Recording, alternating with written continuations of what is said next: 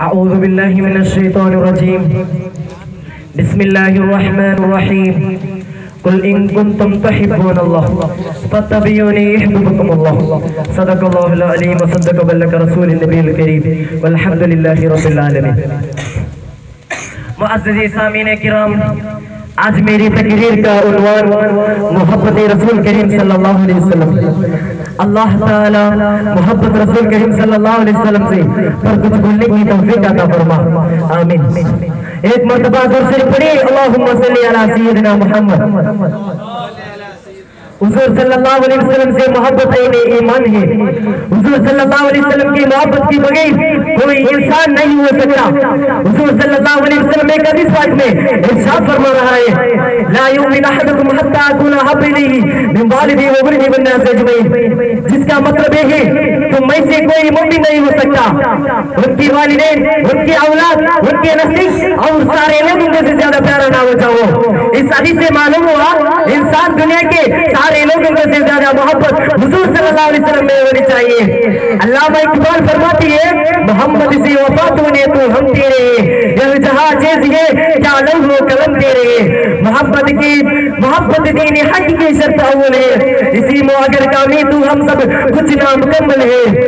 اس دنیا کے انسان کا دستور ہے، جس کو جس کو محبت ہوتی ہے، اسی کو یاد کرتے ہیں، اس کی تعریف کرتے ہیں، اس کی ذکر کرتے ہیں۔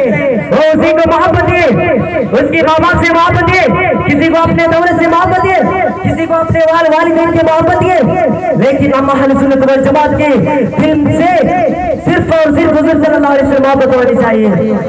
وہی ہے محبت ہے جو قبر کام ہونے والے ہیں۔ ایک صحابی حضرت صحبان رضی اللہ عنہ حضور صلی اللہ علیہ وسلم پاس آئے، روتے ہوئے۔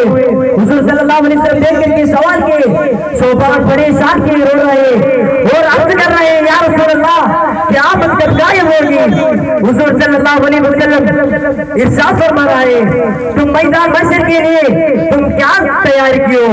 حضرت صحبان رضی اللہ عنہ عرض کر رہے یا رسول اللہ، یا رسول اللہ، میرے پاس نئی نماز ہے، نئی حج ہے، نئی زکات ہے، نئی روزہ ہے، صرف ایک چیز ہے، اور حضور صلی اللہ علیہ وسلم آپ سے ہونی چاہیے۔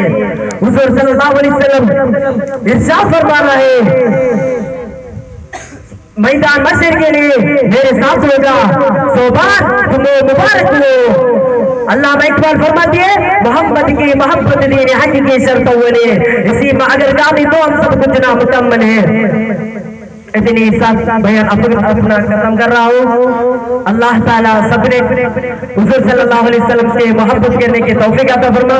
وآخر دعوانا الحمدللہ رب العالمین۔ السلام علیکم ورحمۃ اللہ تعالیٰ وبرکاتہ۔ پیزونی پاکتا اردو باشدہ مندوری اللہ تعالی وبرکاتہ میری پیاری حضرتوں اور میرے بھائیوں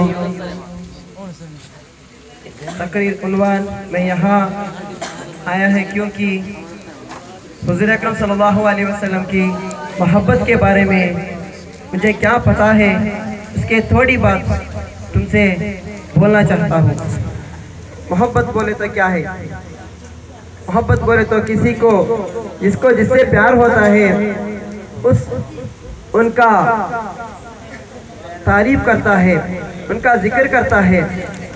ہم کو ہمارا ماں باپ سے محبت ہے۔ ہم، ہمارے ماں باپ کو تصریف کرتا ہے، تعریف کرتا ہے، ان کا، ان کو مدد کرتا ہے۔ ہم اہل سنت والجماعت کو بچوں، ہم حضور اکرم صلی اللہ علیہ وسلم کا محبت ضروری ہے۔ اس لیے ہم حضور اکرم صلی اللہ علیہ وسلم کو محبت کرنا، پیار کرنا۔ ایک دن حضور اکرم صلی اللہ علیہ وسلم نے اسلام کی دوسری خلیفہ عمر علیہ اللہ عمر علیہ اللہ علیہ السلام علیہ السلام سے پوچھا، یا عمر، میں تم سے تین وشے تک پوچھ رہا ہوں، تم اس کا جواب دینا چاہیے؟ حضرت عمر علیہ اللہ نے بولا، یا رسول اللہ تم پوچھو۔ رسول اللہ نے پوچھا، یا عمر، تم تم سے اولاد سے اور میری، اس دونوں میں زیادہ کس کو پیار کرتا ہے؟ حضرت عمر علیہ اللہ عنہ نے بولا، یا رسول اللہ میں میری اولاد سے زیادہ تم کو پیار کرتا ہے۔ اور دوسری سوال تھا، یا عمر، تم تم سے دولت کے بارے میں اور میری بارے میں، اس دونوں میں زیادہ تم کس کو پیار کرتا ہے؟ حضرت عمر رضی اللہ نے بولا، یا رسول اللہ، میرے دولت کی زیادہ میں تم سے پیار کرتا ہوں۔ حضرت عمر اللہ عنہ سے حضور اکرم صلی اللہ علیہ وسلم نے